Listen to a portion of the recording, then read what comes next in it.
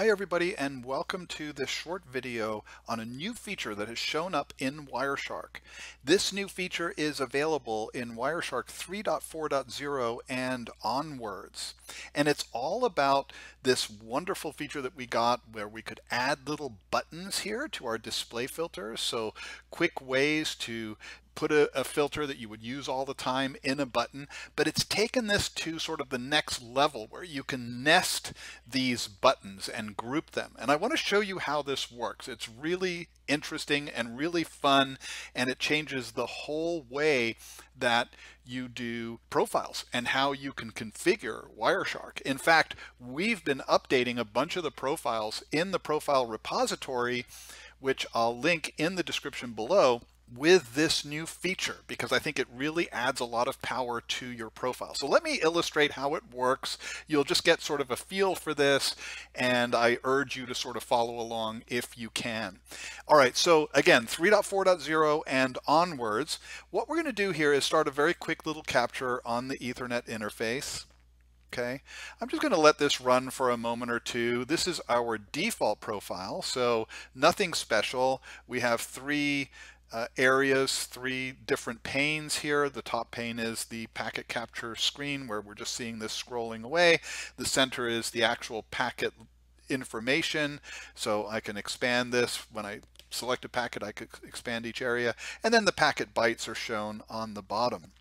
Now, there's another feature that I put just recently uh, on YouTube, which is about how you can use the packet diagram feature, and I'll put a link to that in the description as well. All right, so let's stop the packet capture here. I've got enough that I can mess with now, I believe. Now, one of the things that you'll notice is I have a combination of IPv4 and IPv6 packets here. So if I wanted to just look at IPv6, I could just type this up here in the display filter. I can say IPv6 and hit enter and now I'm filtering out everything except the IPv6 traffic.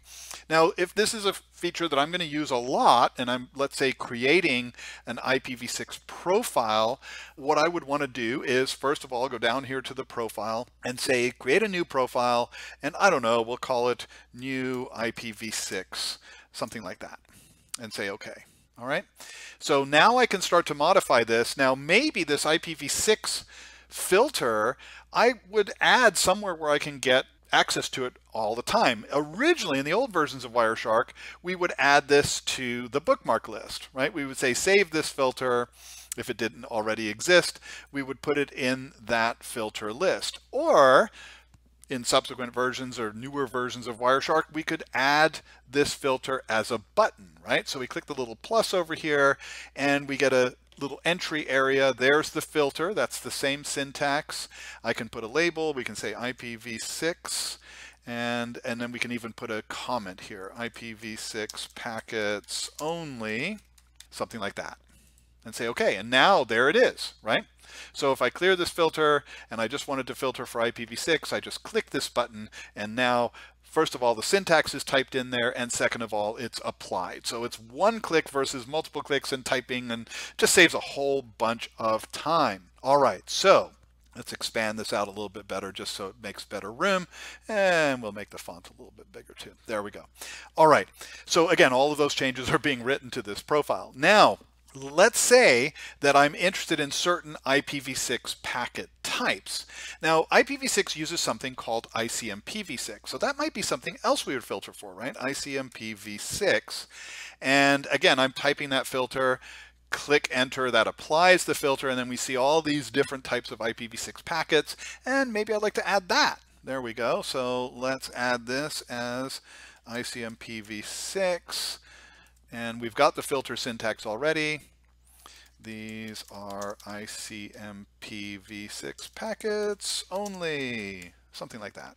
Okay, so again, those comments, when, when you add that, if you hover on the uh, particular button, you'll see whatever you type in there will be shown. Okay, so this is really nothing super new at this point. However, let's go a little bit further.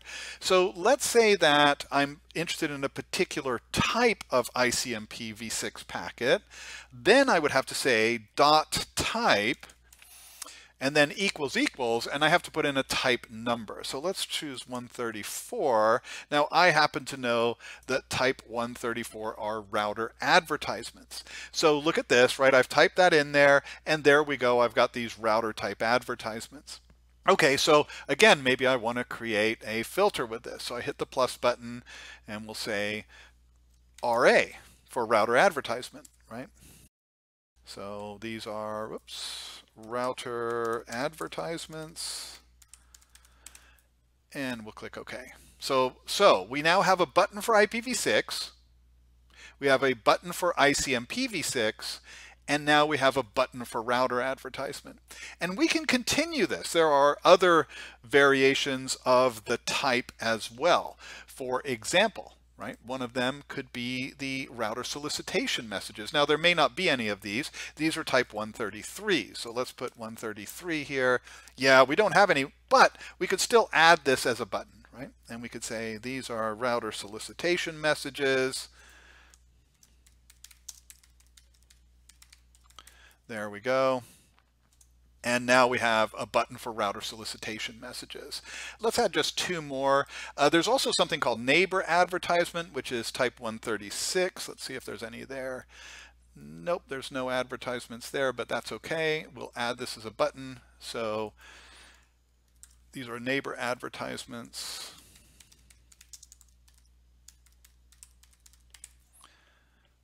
And say OK. And then the last one that I want to add is neighbor solicitation messages, which are type 135s. Okay, so let's change this.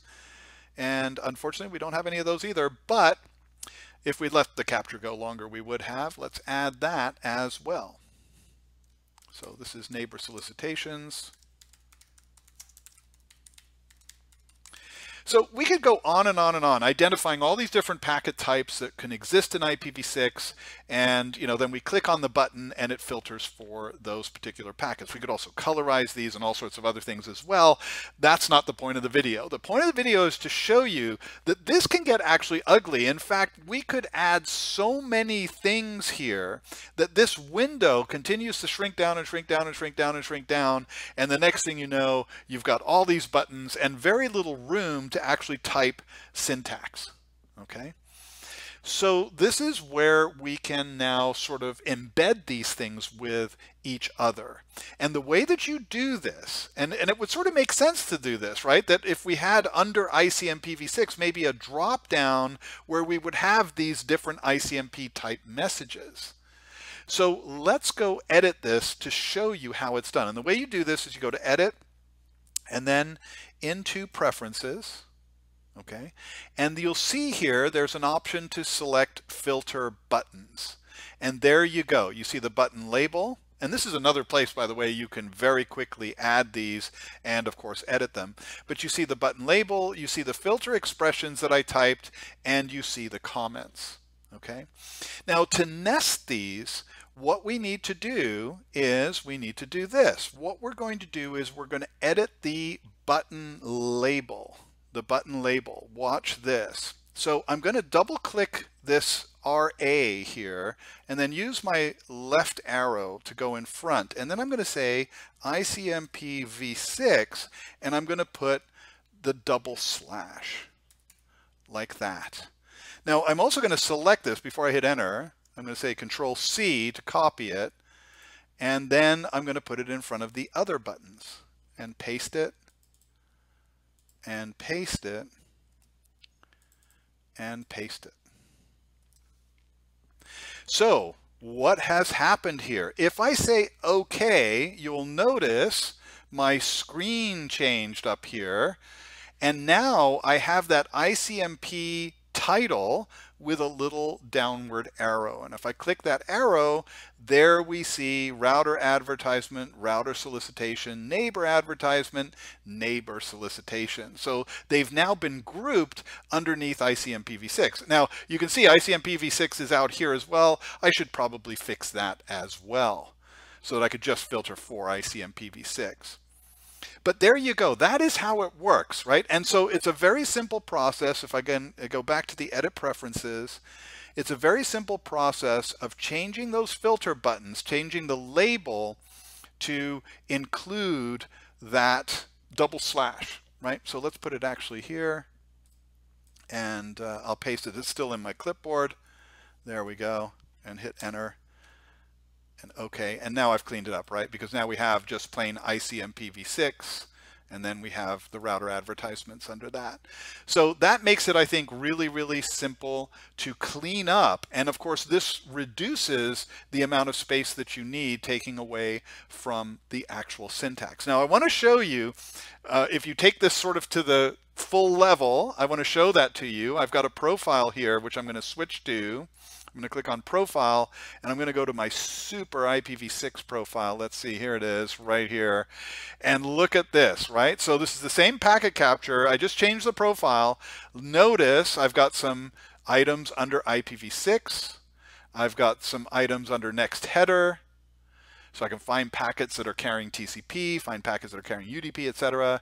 There's my ICMP. Now here, I just look for general ICMP and redirects for me, logically, to look for router advertisements, it just belongs under IPv6 rather than ICMP. So I just did it that way. However, ICMP errors are important. So I have the different ICMP errors. I can look for those. I mean, you just imagine this saves so much time and it's all right here right? I don't need to go to my bookmark list and go crazy looking in the bookmark list. It's all right here, literally one or two clicks, and I get exactly what I want. If I want to find tunnels, I even have security.